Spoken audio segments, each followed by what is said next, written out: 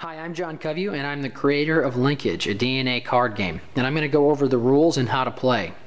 So before I start, I just want to make a note about the graphics. The graphics are going to be different in the final version.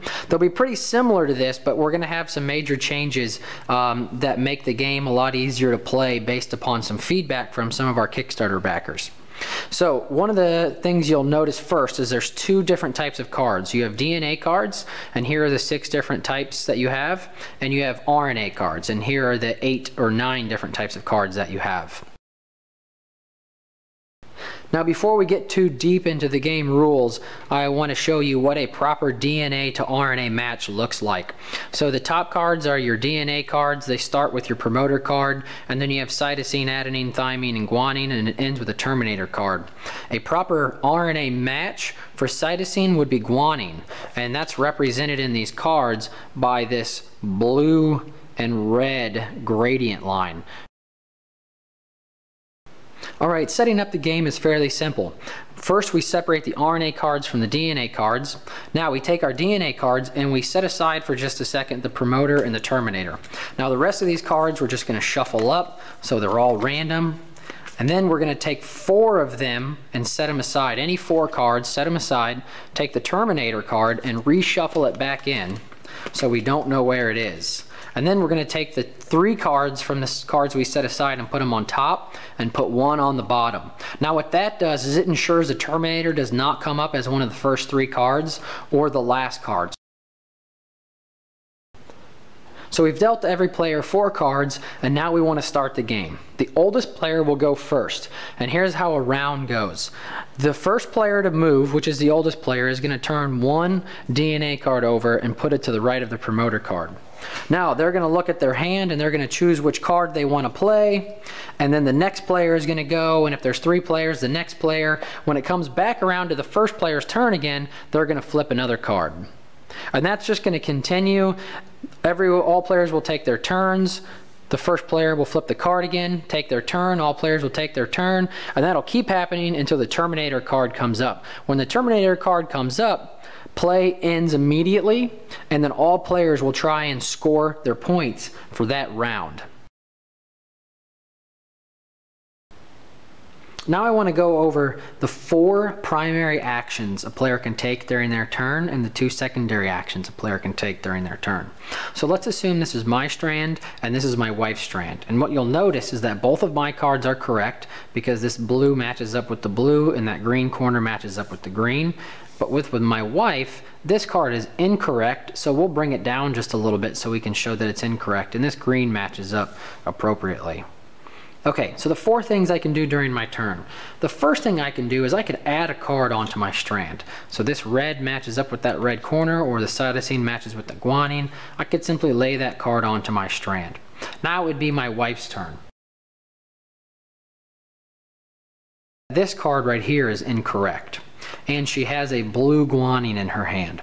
So she gets to decide between either taking that first primary action, laying a card on the end of her strand, or the second primary action, fixing her strand. So she could actually lay this blue guanine down there in in replacement of that uracil, and that uracil would get discarded, and now she would have her first two cards correct. So there's the second thing she can do.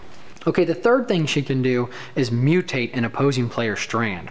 So if she does this, the card she takes from the opposing player must go at the end of her strand.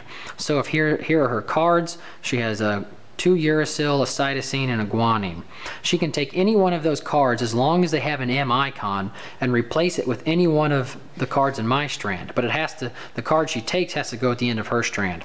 So she could take this uracil right here, mutate my strand, and then place that card at the end of her strand.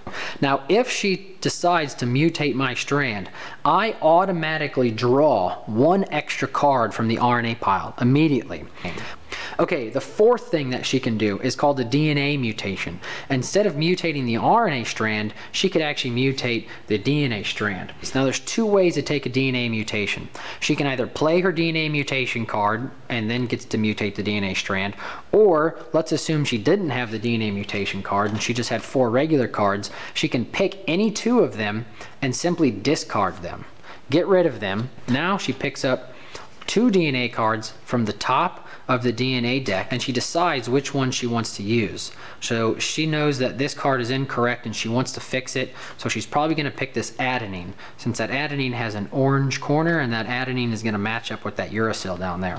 So she takes her two cards, she decides to use adenine, she removes that cytosine, she places the adenine in its position, and now she picks up that card that she took out and she gets to choose the order of these two cards and place them back on top of the deck. So not only does she mutate the DNA strand, but she knows the order of the next two cards. So it's a pretty powerful move.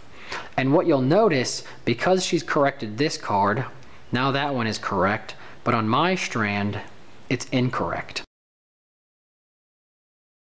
If you'll notice here, I don't have any of the cards I need to add to my strand. I need a blue guanine and I don't have one. So I'm, I'm, always left with one option and that is to lay any card on my strand down face down. So just like that. Now at the end of the game, this card will score zero points by itself, but it'll allow this whole sequence right here to be correct. So this is a correct strand of three cards or a sequence of three correct cards. Okay, so there are two secondary actions that I can take during my turn. The first one is a card trade, where I simply choose two of my cards, put them in front of another player, and randomly draw two of their cards. And the second is to discard any one of my cards in my hand, and then perform an extra action. So I could take two of my cards,